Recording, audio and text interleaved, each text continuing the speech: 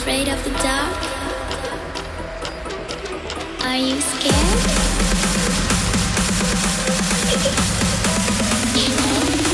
I am you.